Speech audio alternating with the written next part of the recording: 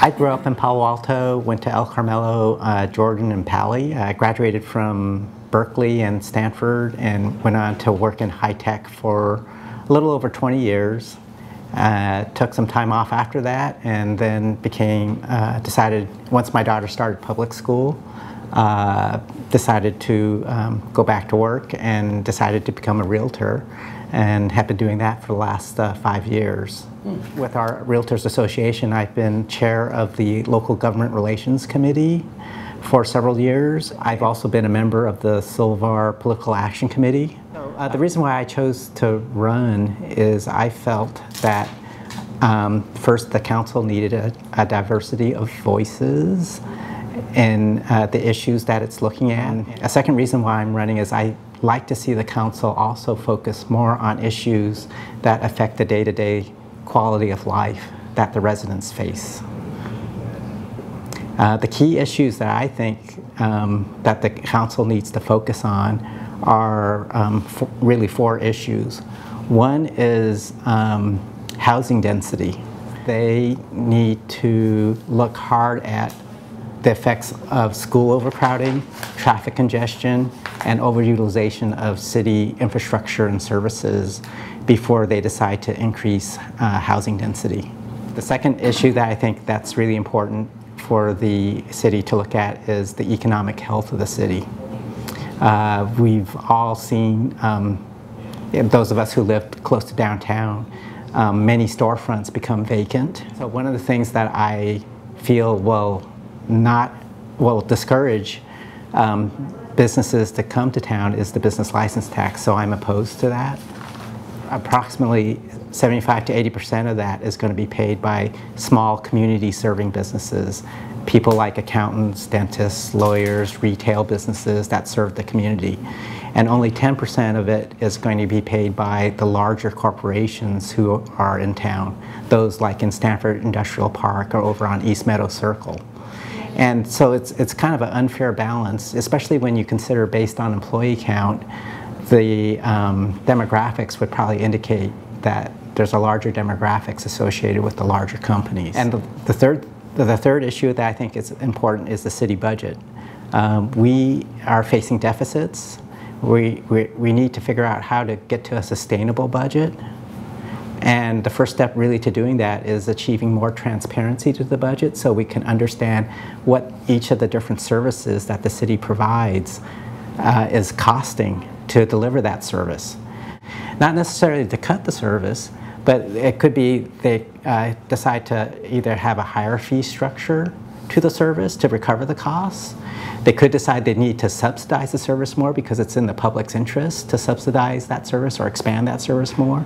Or they could even look at um, some sort of private, public-private partnership to deliver that service. And then the last issue really is the high-speed rail. Um, I believe the city needs to take a pretty active stand on the high-speed rail.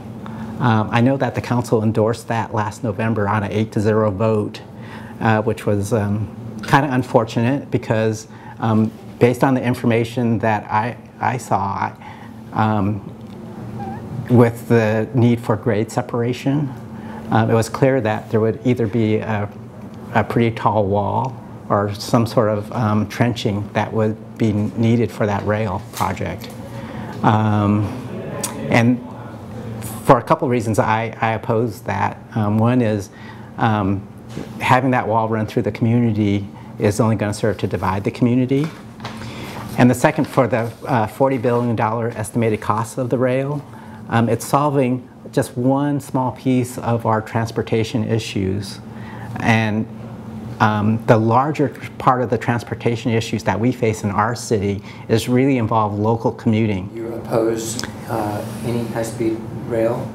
Um, not any, but on the specific route, as well as um, it just in a broader context, uh, funding it to the degree that we are with both state as well as local bond issues.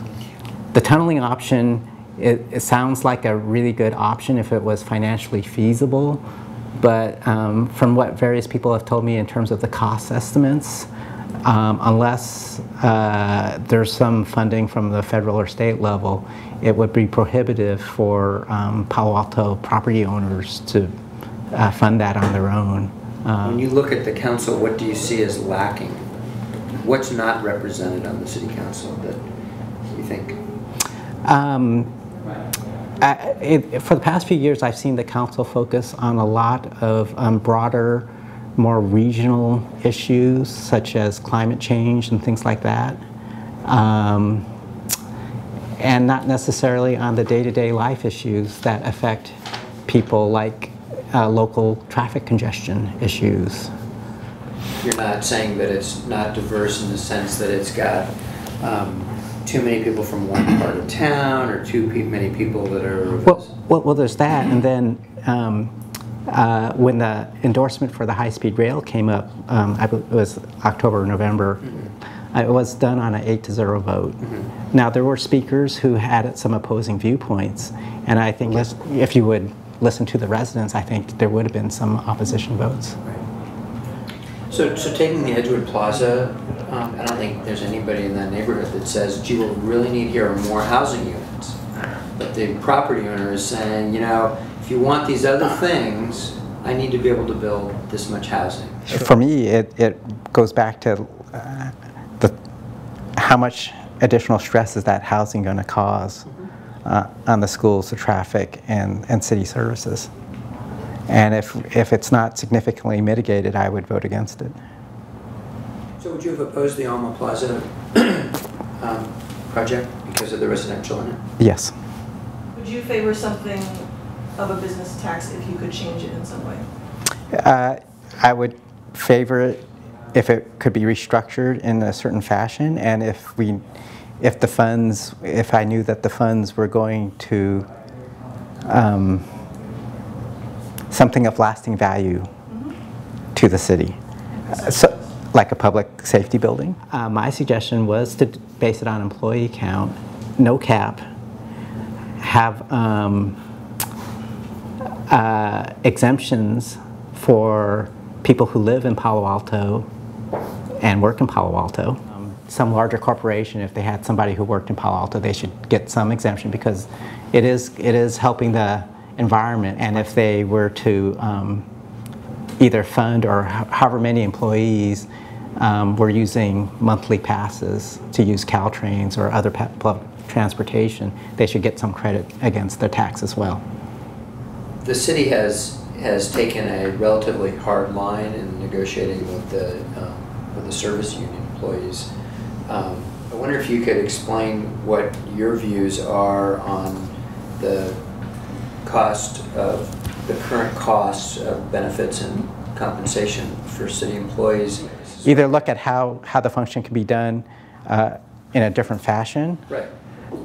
Either through technology, through outsourcing, or by combining job functions, through changing work rules. Uh, It's to look at how they can do things differently so that they can achieve the same set of uh, results with less people. It's, it's, hap- it's a general trend that's Right, been happening, right.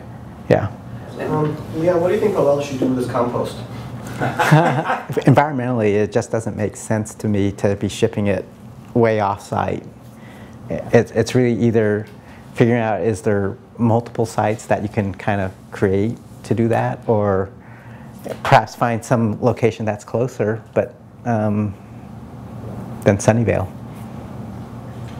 Based on what you see is available right now of the options, uh, and there aren't many, but like the- the chunk of airport that somebody brought up, uh, Bob Winkel plan, does that seem like a suitable site, or It, it's an option to consider. or have you seen any other sites that could be considered for this? It's an option that, that should be considered, but I don't think that the airport people had an adequate chance yet to express what their um, viewpoints are, and I, I'd like to see them express their viewpoints. You know, I, I realize I'm a newcomer, um, but um, being new also means you can inject some, some different perspectives, which hopefully can lead to better decisions that the council makes.